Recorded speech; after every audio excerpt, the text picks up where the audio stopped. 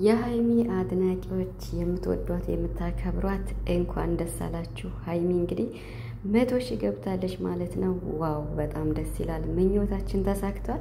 እንግዲህ የብሩክ ምኞትም ተሳክቷል።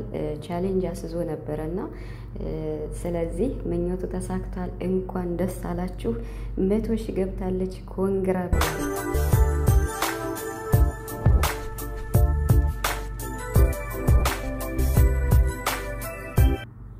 ሀይሚ እንግዲህ መቶ ሺህ ገብታለች። እጅግ በጣም ደስ ብሎናል ማለት ነው።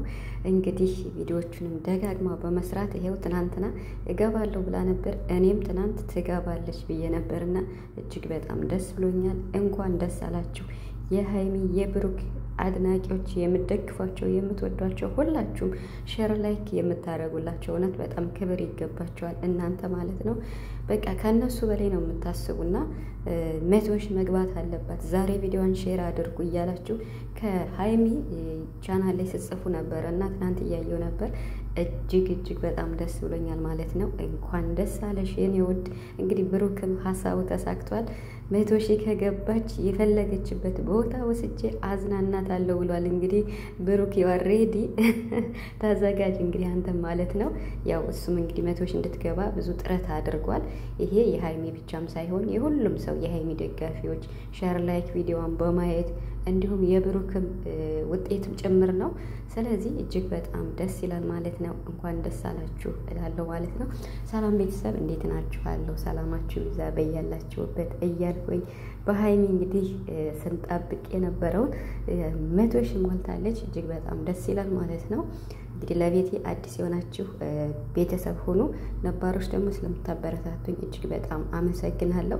እንግዲህ በድጋሚ መልካም አዲስ ዓመት እያልኩኝ ሀይሚ እንግዲህ በአዲስ ዓመት በመጀመሪያ ቀን ይኸው ሁለተኛ ቀን መቶ ሺህ ገብታለች።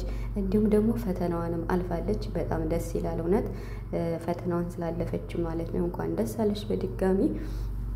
ትናንት እንግዲህ አንድ ቪዲዮ ሰርታ ነበር እና የትናንትናው ቪዲዮ ብዙ point ኦችን ያየንበት ነው እና እውነቴን ነው የምላችሁ ሚስጥርም የወጣበት ነው እና እንዲሁም ደግሞ prank ኡ ይደገም ስንል ትንሽ ደንገጥ ያልነም አለነ። prank ኡ ይደገም ነው እንጂ እኮ ያልነ ሀይሚ ይሄንን real አድርጋ ታቅርብ አላልንም። ይሄ ከባህላችን ውጭ ነው፣ አይታሰብም እና መታሰብ የለበትም።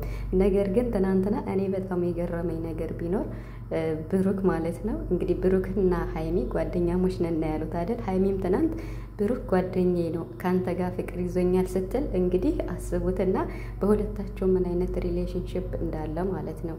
ስለዚህ ሚስጥር ወጥቷል ትናንትና አንዋር ሚስጥር አውጥቷል። አደራህን ጠብቅልኝ እኮ ብሎኝ ነው ብሩክ እዚህ ጋር እኔ አንቺን የምጠብቀው እንጂ ለሌላ ነገር ለምን ታስቢያለሽ? እኔ አንቺን አደራ ሰጥቶኝ ነህድ አደራነቴን መወጣት አለብኝ። አንቺ እኮ እህቴ ነሽ ነው ያላት። እንዴ ብሩክ እኮ ጓደኛዬ ነው ከአንተ ጋር ነው ፍቅር የያዘኝ ስትለው ኧረ እባክሽ እያለ ነበር የመለሰ። ደግሞ ከብሩክ ጋር ምን ሆናችኋል ሲላት ምንም አልሆንም ነው ያለች። አያችሁ። ስለዚህ ሚስጥር ትንሽ ስላወጣ ነዋር ማለት ነው። በጣም ደስ ብሎናል። እኔ በጣም እየሳኩ ነበረ ደጋግሜ የተሰማው የነበር ቪዲዮን ማለት ነው። ሲቀጥል ደግሞ ይሄ prank ለማን ነበር የሚገባው? prank ኡና ያልነው እንጂ real ሴት ልጅ ለወንድ ልጅ የፍቅር ጥያቄ ማቅረብ የለባትም በፍጹም ማለት ነው። ይሄ ከባህላችንም ያኔ ደስ አይልም ማለት ነው እና ችግር የለውም ይባላል፣ ግን በፍጹም ደስ አይልም። ወንድ ልጅ ነው ለሴት ልጅ የፍቅር ጥያቄ ማቅረብ ያለበት።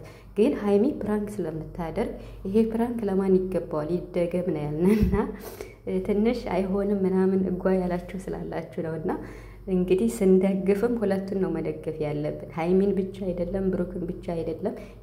የብሩክና የሀይሚ አድናቂዎች ሁለቱንም በአንድ አይን ነው ማየት ያለባችሁ።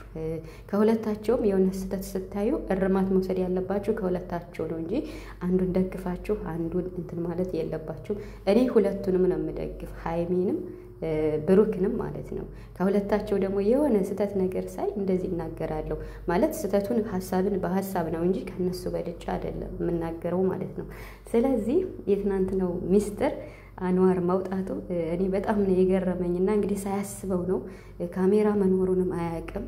አደራ ተብያለሁ ብሏል። ብሩክ ደግሞ አደራህን ጠብቅልኝ እስከምመለስ ብሎን ሄደ።